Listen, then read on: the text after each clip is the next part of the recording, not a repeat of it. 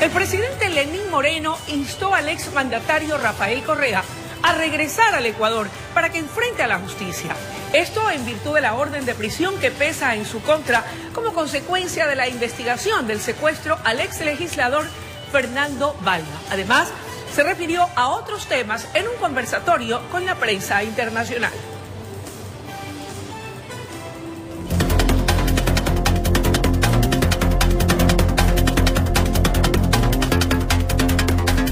Que el presidente Correa debería venir.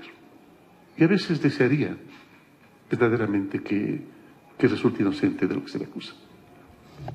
Porque tampoco es agradable pues haber sido vicepresidente durante dos ocasiones de una persona que ha tenido comportamientos autoritarios y que posiblemente se han realizado de manera clandestina secuestros, violaciones de los derechos humanos y asesinatos.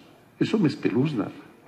Yo quisiera que eso no fuera realidad. Estas fueron las palabras del presidente Lenín Moreno respecto a la orden de prisión que la jueza Daniela Camacho puso en contra del exmandatario Rafael Correa por la investigación que se lleva a cabo del secuestro del ex legislador Fernando Balda. Y añadió. Él manifestaba que vengan al país aquellos que tienen problemas con la justicia, que se enfrenten con la justicia.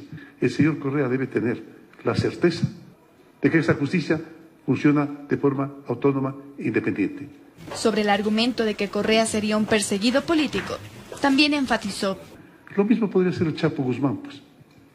Cualquiera podría hacer lo mismo, declararse un perseguido político. Y siempre encontraré un abogado que encuentre argumentos legales como para declararme perseguido político.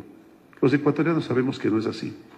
Los ecuatorianos sabemos que muchas cosas extrañas han ocurrido durante ese periodo. Y lo único que queremos es que haya verdad y que haya justicia, nada más. Estas declaraciones las realizó en un conversatorio con agencias internacionales de noticias y reiteró su llamado a los países vecinos por respetar la autonomía del Ecuador. Somos un país tolerante, que ha estado actuando reactivamente con respecto a temas internacionales, poco proactivamente, por respeto, por tolerancia, pero la tolerancia tiene un límite y que por favor no la rebasen. Además se pronunció respecto a las declaraciones del exmandatario en su contra, en donde Correa sugirió que Moreno desfoga amargura por haber quedado condenado a una silla de ruedas. Utilizar una canallada de ese tipo me parece que es desacertado. Así como yo no podría decir que cierto tipo de comportamientos delictivos tuvieron origen en aspectos familiares y sociales. No lo haría, bajo ninguna circunstancia, porque lo consideraría una miseria En la cita también se refirió a otros temas. Dijo que se solicitará a los países miembros de la UNASURE que el edificio que ahora se ocupa como sede sea cambiado y adelantó que se avisora una solución a mediano plazo para el asilo político de Julian Assange en la Embajada de Ecuador en Londres. En Quito informó